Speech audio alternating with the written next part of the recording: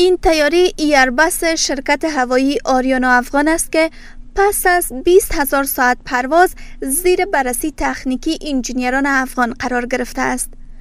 انجینیران افغان پس از یک ماه چک تکنیکی حالا موفق شدند تا 2800 بخش این تیاره را بررسی کنند.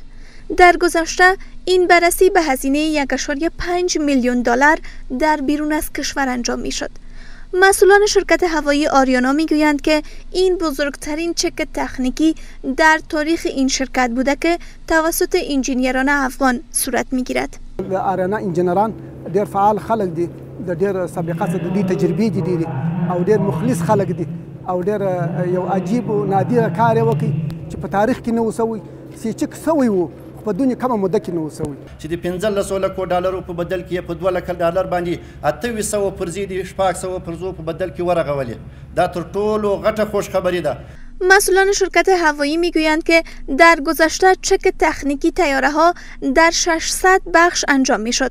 حالا این بررسی ها هرچند در بخش های زیاد انجام می شود اما کمتر از 300 هزار دلار آمریکایی هزینه برمی دارد. دنیا دغه چک دی موږ سبا ورځ ویني د سینه د سیمو دا کار دلته وکړو دا پټي هر ورځ موږ ته جواب دی استو سه امارات ترکیه ته ایکاو ته ټول دنیا ته موږ جواب ورکو چې دا چک موږ کړي په کومه اساس هم کړي د تایری د تولیدي کمپنیو دغه مانولو په اساس باندې ټول په ستاندرد او مطابق د راهنمود دیغو باندې سر ته رسیدلې ده ایربس خطوط هوایی آریانا افغان ظرفیت 233 مسافر را دارد.